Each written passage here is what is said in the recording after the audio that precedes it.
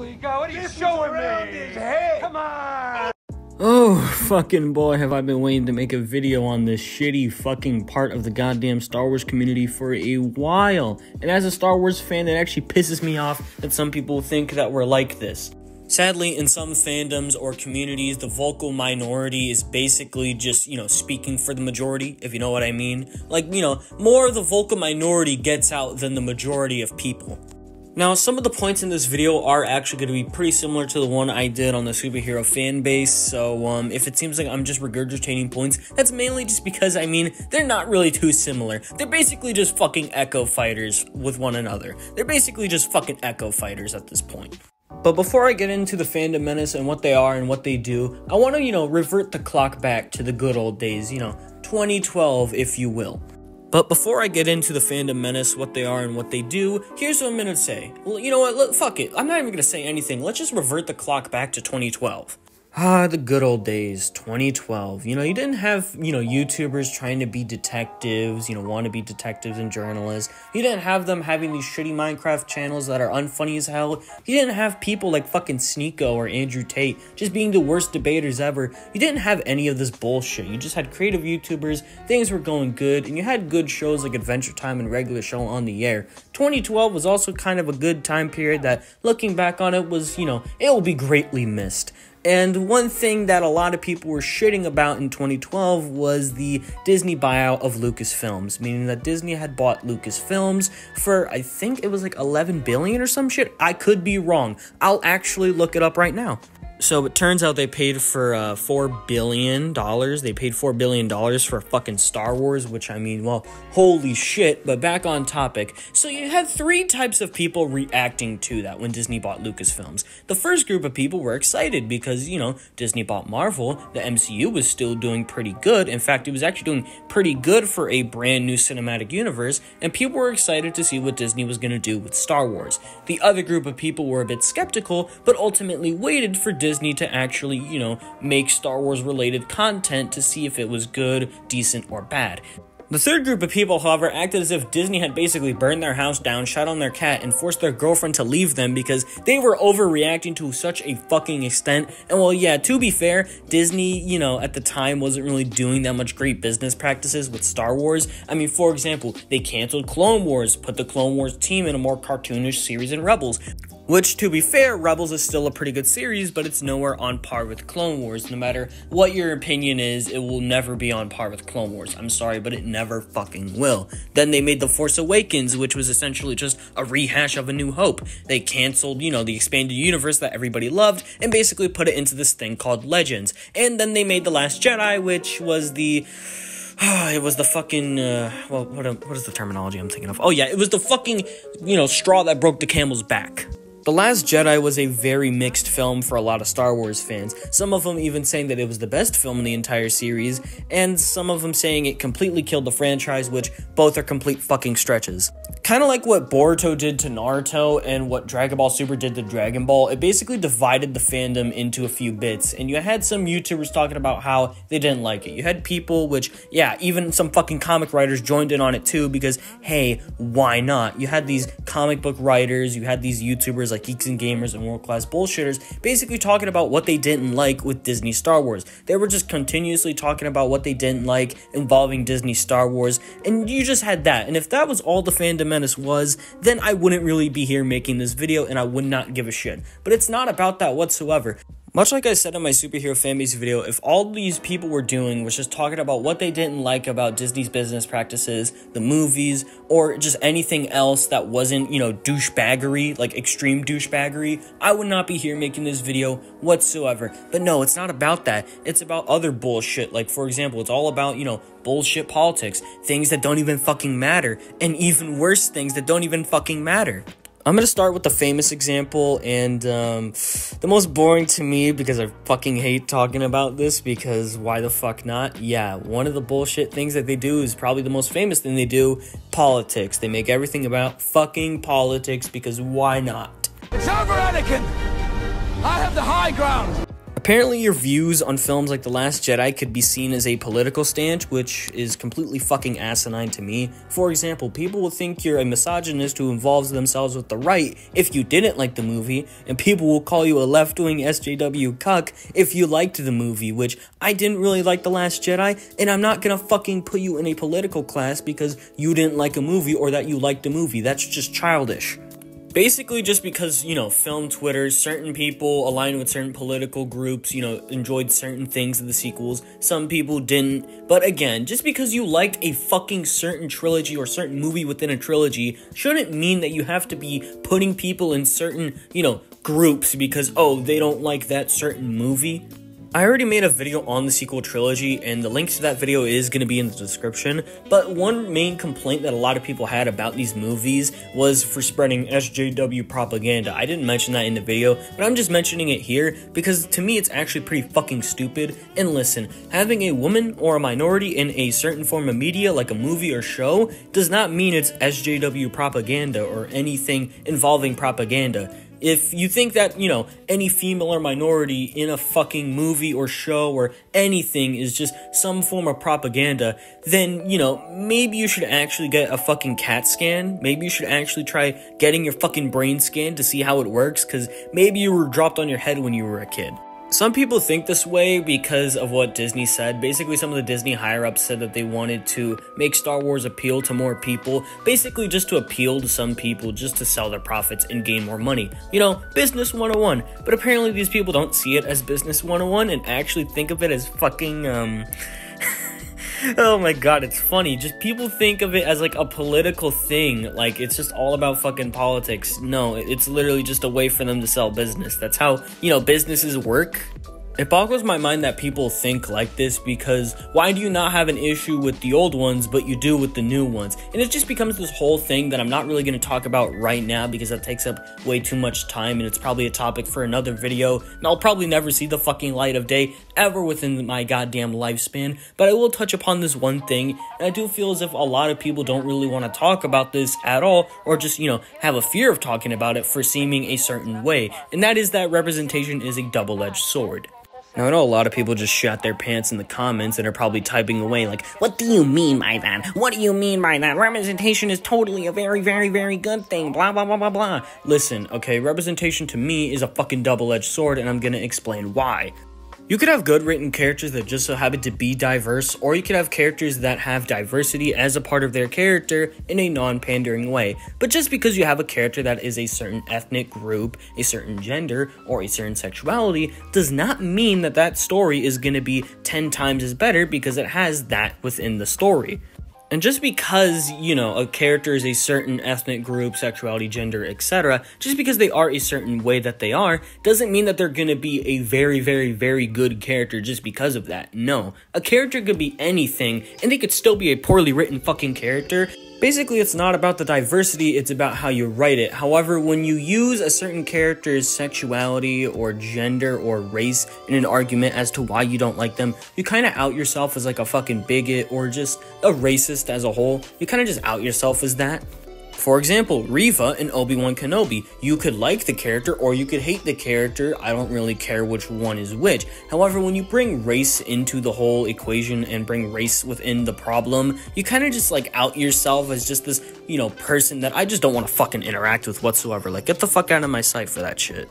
Then you had that whole debacle of the whole Forces Female marketing tagline, which again was literally just a marketing tagline that was used to promote Air Force Ones made by fucking Nike, and then a picture of Kathleen Kennedy, Lucasfilm CEO by the way, wearing the shirt with the tagline, basically just kind of made everybody pissed off. There's a Reddit post explaining that, you know, she has connections with Nike and all of that type of shit, but then you had people taking it way too far, with people trying to say shit like, they're trying to elevate women by alienating men, which the logo and basically just the fucking tagline does not mean whatsoever. And you have people that will say literal interpretations of it that, you know, Disney is trying to retcon the force to have a fucking gender, which I mean, that's retarded. That's literally fucking retarded.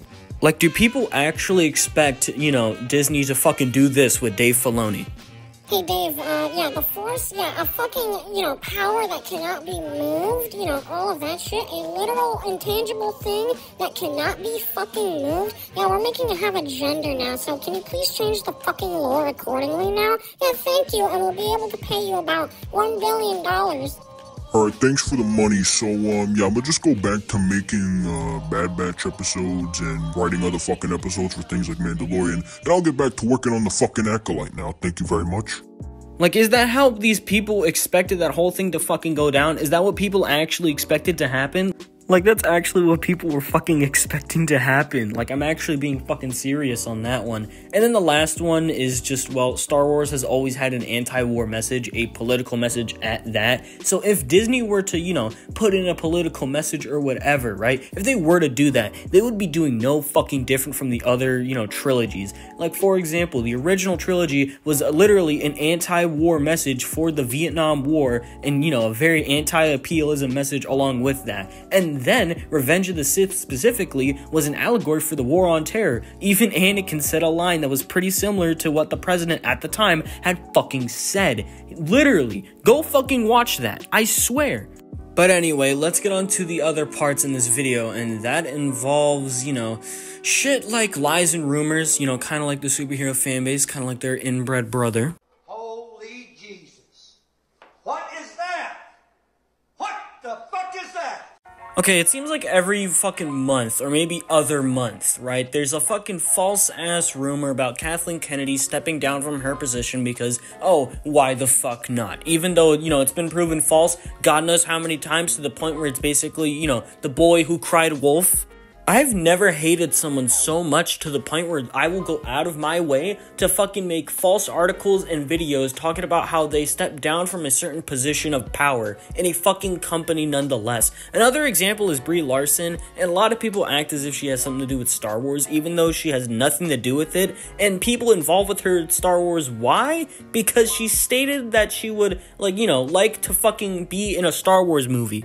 Yet these false ass articles and videos from the fandom menace basically act and think as if Larson had something to do with Star Wars earlier and then got fired even though she has no involvement with Star Wars whatsoever. And another example is Pedro Pascal. What the fuck? Basically, during the time period of Mandalorian Season 2, there were rumors, and very false rumors at that, that his character would be killed off and then replaced with Boba Fett. The reason for it was because apparently he didn't like how his character had to wear the helmet all the time. Even though Pascal came out and said that, you know, a lot of it was false, some of the fandom menace dudes kept writing the same shit, and then eventually they were saying, oh, he wouldn't sign on for a third season, even though him and his stunt double confirmed that in an Instagram post. Like, you guys are so fucking desperate. Jesus Christ. Christ. The last two examples I'm going to pull out, actually three last examples that I'm actually going to mention, involves George Lucas, Mark Hamill, and John Boyega. I finally managed to say his fucking name right. Yes, finally. Now, it's pretty understandable as to why George Lucas doesn't really like the sequels. When he gave them ideas for the movies, like what they could be and what to put in them, they basically just shunned him and didn't really do anything with those ideas, and we all know how that turned out. But he has admitted to enjoying things like The Mandalorian and all that other type of stuff. But apparently, the Fandom Menace has this weird little illusion that George Lucas is their leader for some reason. Like, now, this one's actually a pretty simple example. Like, they basically tried making this article that was talking about how Mark Hamill was anti Disney, even though he's clearly not anti Disney. You could actually fucking tell that he's not anti Disney. He is not anti any of the fucking sort whatsoever if he still works with them. The last one is John Boyega, who has clearly admitted that he's not a fan of the sequels as a whole. He is actually pretty honest about him not enjoying those movies. And, you know, a normal person would just leave it at that, like, oh, they don't really like the movies. Okay, we'll move on. Then the fandom menace is over here, like, Oh, oh, look at that guy. Look, look, he hit movie. That means we right, guys. That means we right. Ook, ook, ook. Like, shut the fuck up. It's basically like how the superhero fan base basically, you know, points at the fucking suffering visual effects artist and are like, oh, even the visual effects people don't like working on the movies. Even they don't like them. That means we're right, guys. Again, a normal person would just leave it as, oh, they're not really a fan of the movies, or oh, I didn't like the movies. Okay, I'll move on. And you know, they will move on. But the fandom menace makes it a point and makes it their only fucking personality trait that they despise anything Disney Star Wars related whatsoever. And yes, that includes the fucking actors. because I like Order. Hell, I love it. I'm saying, I'm, I'm just itching. I, I'm, I'm, I'm itching to do it again. If you have an issue with the way a certain character is written or the way a certain character is, you know, actually speak to the writers in a civilized manner. Don't go fucking harassing the writers or the actors because, oh, you don't like a certain character. And that's what we're gonna be talking about. That's what these people fucking do. They just harass actors and anyone else that's a part of the staff because, oh, I didn't like a certain character. Now, Kelly Marie Tran, who's most famous for playing Rose in the sequel trilogy, was basically harassed into going offline because of fandom menace weirdos. And before you get into it, like, oh, they're poking fun at the character, not her appearance or not her in general, I call that bullshit. One, they're making fun of her appearance, which is basically, you know, the actor's appearance. Two, you could even see in fucking screenshots that they're poking fun at her race. Three, they did it in a very unconstructive way. And four, it's the actual actress's fucking Instagram. How can you not believe that? Then you have the whole thing with Rian Johnson still going on to this day, and Rian Johnson is the guy who, you know, wrote and directed The Last Jedi, which, I mean, yeah, to be fair, he is kind of a dick, and it's not like the whole thing with Taika Waititi to where they twisted his words and basically just made it into something hateful towards visual effects artists. No, this one is actually real, by the way even when he was given the most basic of fucking criticism on earth, you know, Rian Johnson was basically saying some Butch Hartman type shit like, oh, you haven't written anything, so you can't criticize my writing. And then he put, you know, the people harassing him on blast, which, I mean, to be fair, what else are you supposed to do? But at the same time, on the internet, when, you know, you show bits of anger or just any ounce of anger whatsoever, more and more people are gonna troll you, and that's what people did. And people are still doing it to this day. Again, making fucking gimmick accounts to this guy, you know, dedicated to just harassing him and all of that, which, one, if you make a gimmick account, you really, and I mean really, need to get an actual fucking job. And two, especially if it's towards, you know, harassing a guy, then you need a fucking job. Like, you need more than a job, actually. You need bitches, a job, and anything now, these people are also kind of like the equivalent of those people you'll see comment under Marvel posts that are basically just like, oh, Stan Lee wouldn't want this, which one, have some fucking respect, and two, yeah, these people will do the same shit with Star Wars. They'll comment on the passing of, you know, one of the old actors who worked on the original trilogy, basically saying shit like, these are the real people who made Star Wars great, not the shills who make it today, which again, first of all, have some fucking respect, and two, don't try using you know, your only personality trait of fucking hating Disney Star Wars to get sympathy points. I actually am gonna hate it. I'm gonna fucking hate it when George Lucas inevitably passes away that these people are gonna use his death for fucking sympathy points. It's disgusting. Plus, before even the fandom menace was even fucking conceived, Star Wars fans were going out of their way to harass Christopher Lloyd and Ahmed Best for playing young Anakin and Jar Jar Binks because, hey, why the fuck not? You know, you don't like a certain character? These people will just go out of their way to harass people who have nothing to do with the writing of a character whatsoever. And this video has gone on for like almost 20 fucking minutes, so I'm just gonna get to the conclusion of this video and then I'm just gonna fucking dip. I have shit to do actually. I'm doing this shit. I got the devil on my phone. He told me keep doing this shit. Yeah, devil told me how to get rich. Yeah, how many bands? Six, six. Was in a minute, a couple of big sticks. You better ride me like she on the wrist. Yeah, they said, what's that, brother? Your chest, I told them that's your bitch list. Yeah, I put up in a They'll basically just be doing anything that I mentioned in this fucking video, and there are still people who will side with these fucking people. And all I have to say, if you're still siding with Fandom Menace people, or, and especially fucking Fandom Menace content creators like Nerdrotic, or, you know, Star Wars Theory and all that type of bullshit, here's what I have to say to you. Get that ass, baby. Oh my god, bro, is dick riding all you do? One last thing, actually, one last thing. Fuck Andrew Tate. All my homies hate Andrew Tate. And if you have to actually, you know, pay another guy to tell you how to be a fucking man, if you have to watch another man tell you how to be another man, you are a fucking beta. You are the beta that you're not trying to fucking be. You are a fucking beta right goddamn there. I usually don't believe in the whole alpha male, beta male shit, but if you watch or follow or even pay Andrew Tate, that's actually the worst thing you could fucking do. You are a goddamn beta male. I'm gonna fucking say it again. If you support Andrew Tate, you are a beta male loser. Fuck Andrew Tate. All my homies hate Andrew Tate.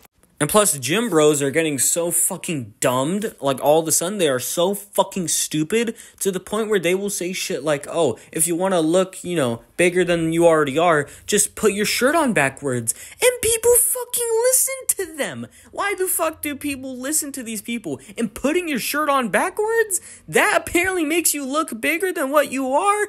Bitch, just wear a smaller shirt. Wear a fucking tighter shirt for that fucking matter. Jesus. Yeah, both Andrew Tate and gym Bros are fucking retarded.